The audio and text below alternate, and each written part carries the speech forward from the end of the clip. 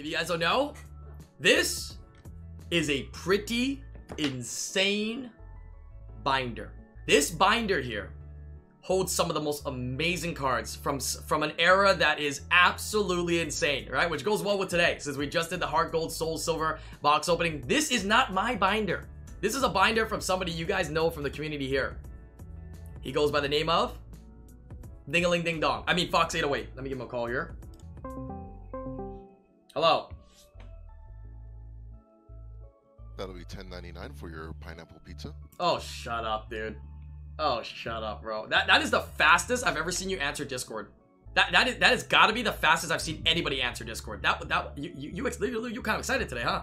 I don't know Fox? about that, but how you doing, Fox? If you guys don't know, yeah, this is Fox's binder. This is Fox. Um, we've been wanting to do this kind of show and tell. He's been wanting to you know talk about and show uh, uh, some of these cards he's got in this binder here to uh, the community. And uh, I thought it would have been no better time than after doing Call of Legends as our previous vintage opening, as well as after doing Heart Gold Soul Silver uh, base as our vintage vintages here. So, Fox, why don't you take it away and tell us a little bit about this binder? Well, first off, I absolutely hate the binder itself. I hate it as well. I used to have a monster binder as well. I hate it as well. I think they're they're cool, but they kind of suck. They're they're much better for Yu-Gi-Oh cards, but um, this binder I threw together during the Heart Gold Soul Silver era uh, as the sets were coming out. Um, this is actually a binder that I didn't really think was that amazing at the time. And granted, all a lot of these cards were pretty cheap, but they've grown over time. The exception being, of course, the very end, which won't spoil it. But um, you know, this uh, for those of you who were curious about what what came out of this era, this pretty much is every major hit, I think. All right, so we're gonna start off here. This is the first page you here. It's got the beautiful Latios and Latias. What are these from? These are, I think these are from the blisters. Gold Soul Silver yep. blisters, I believe, is what they come from.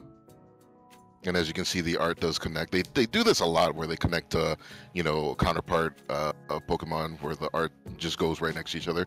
And I just thought the art on these two were like some of the best Latios and Latias, so that's why they're there. Yeah, they're beautiful. And there was a promo too, huh, in this three pack blisters. That's nice. Yep. Yeah, let's move to the next page. Here we go. Look at this! You guys might recognize these. These are the primes, baby. Alright?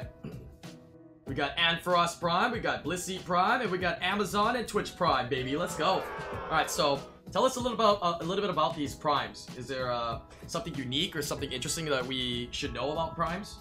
Well, the, the one thing I didn't realize and I had forgotten was that they took place of the reverse hollow. I thought oh, they oh, were yeah, yeah, yeah. hollow But um, during the Heart Gold Soul Silver era, this was after level X's and before the return of EXs. So they just made primes kind of like the special Pokemon. There, they don't give you extra prizes or anything in gameplay, but they usually are kind of like the the main focus of the era. Mm, I see. So what what made you uh, what made you want to collect two of each? As you can see here. Um, honestly, I don't remember, but I think it's just because I had this binder and it fit perfectly.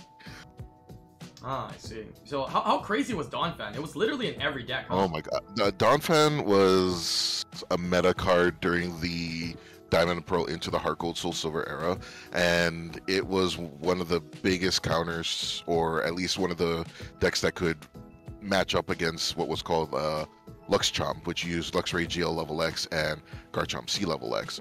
And if you notice in celebrations, you have Donphan, Luxray G level X, and Garchomp C level X. So. Oh, I see, I see.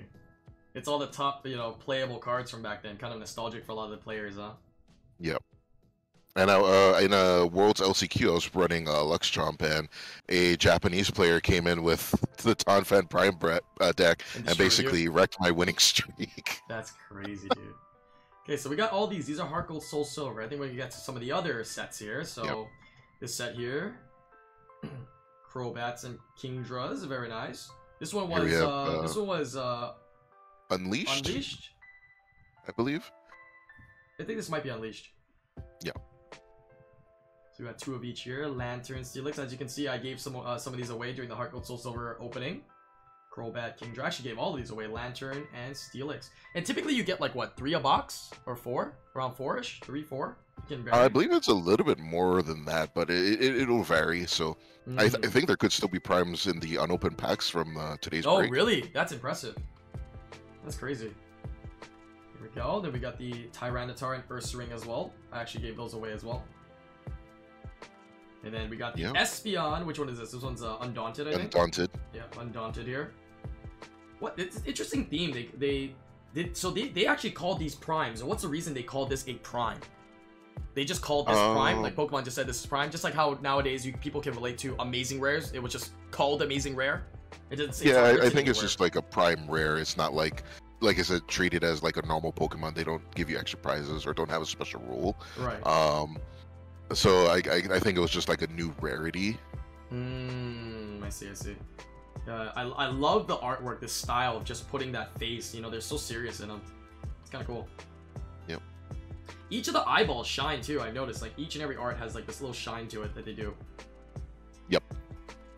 Let's keep going here. We got uh, Raichu and Scizor. If I'm not mistaken, Espeon and Umbreon Prime were played together in a deck. Uh, some of the There's the the playable cards were those uh, Kingdra that we saw earlier, Hmm. uh, Typhlosion Prime, um, and some of these were even given alternate arts in tins. Alright, into the next set here. This one is Triumphant.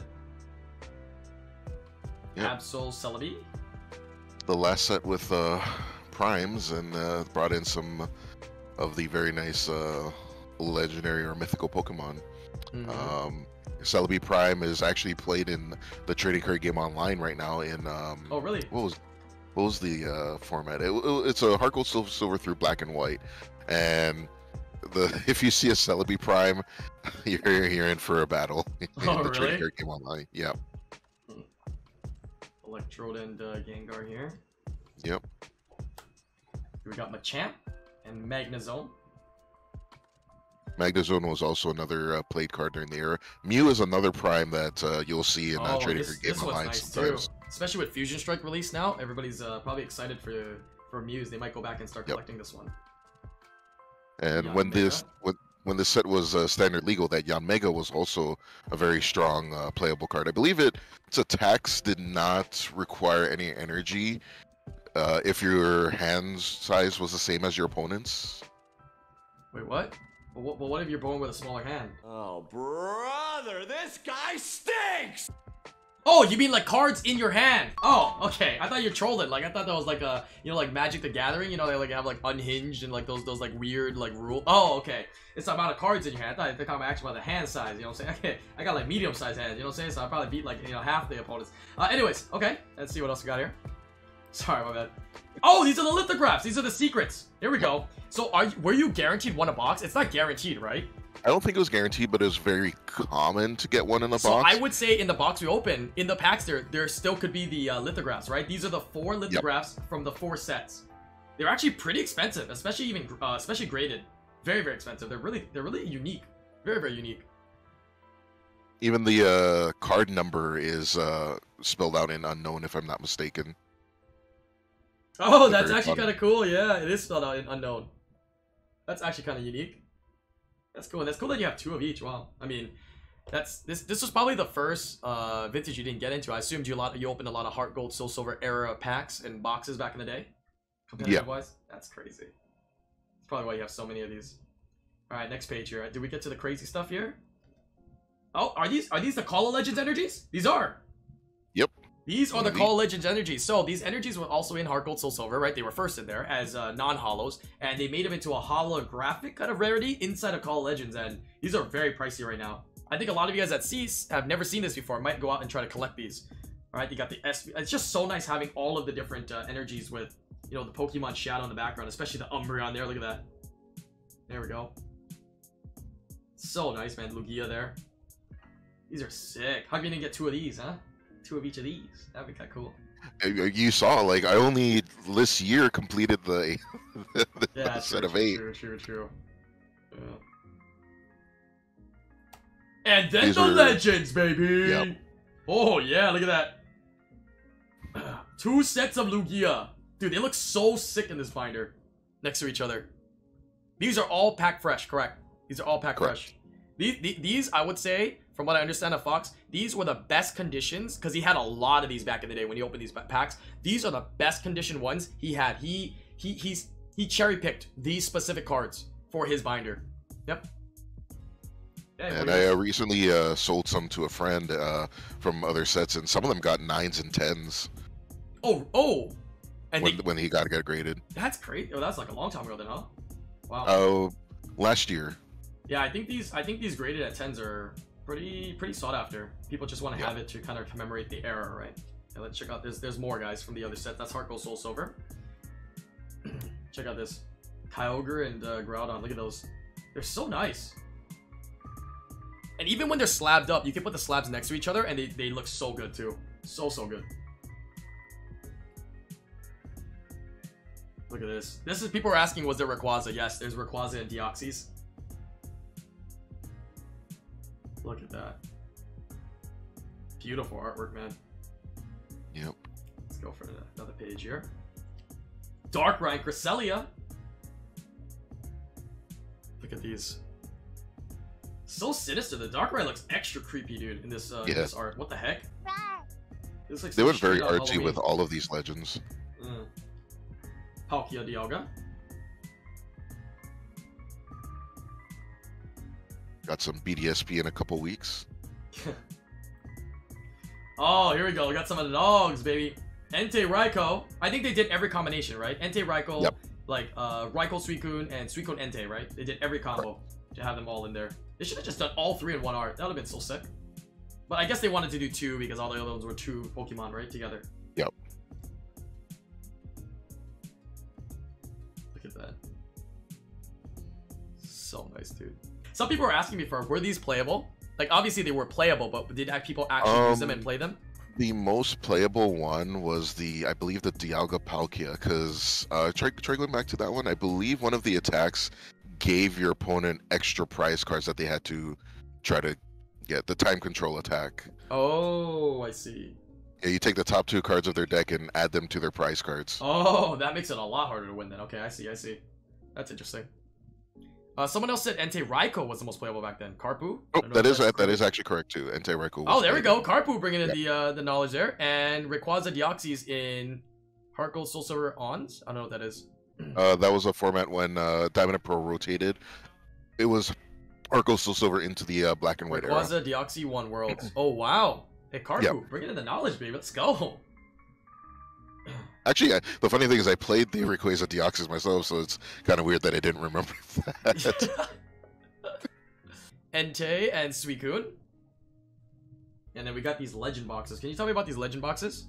um, they were one of the cards that you could use to get legends out. I just threw them in there just as a filler after the legends, and I actually have a fourth reverse hollow one somewhere, and I'm- No, you do have it somewhere. I, I, I think I saw it. You had it somewhere. yeah. There we go. Oh my god, dude. Can I get some Craigasms in chat? Shiny Groudon, Shiny Kyogre, with the Hollow Groudon, Hollow Kyogre from Call of Legends. Shiny Rayquaza with Shiny Deoxys, with Hollow Rayquaza, Hollow Deoxys, all from Call of Legends. The cream of the crop, cherry picked, best condition cards. Oh my god, dude. Yeah, this was another one that was really hard to complete and was only completed um, earlier this year, actually. Boom! Dialga shiny. Palkia shiny. Lugia, which is the number one there, shiny. Ho-Oh shiny. Oh, is there something right there on there? I thought I saw something there. Uh, anyways, uh, Dialga hollow. Palkia hollow. Lugia hollow. Ho-Oh hollow. All from Call Legends. Beautiful. A lot of these were, did you trade for them or did you open them? Do you remember? Um, a majority of them I had opened myself. Uh, um, there were a few that I did have to trade, and one was gifted. Um, Wow, that's crazy, dude. yeah. Did you, so, but out of all the Heart Gold Soul Silver, you probably didn't open that much Call Legends, right? Mm, I, I mean, a few boxes, sure. and, and now a few boxes would be like a lot, but um, you know, back then it was like it was a really cheap set. Nobody really wanted it. And, dude, uh, I want it.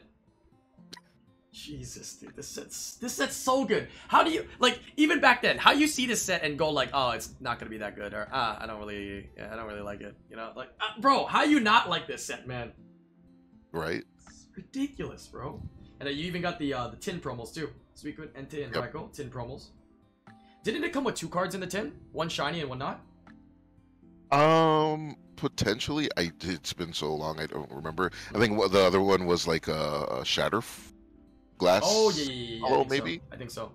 Yeah, yo, Fox. Thanks for uh, thanks for letting us uh, take a look at this beautiful binder and uh, kind of uh, reminiscent and uh, look back at this era as well as get baited by cards that we now want to go buy and collect because we've seen these now.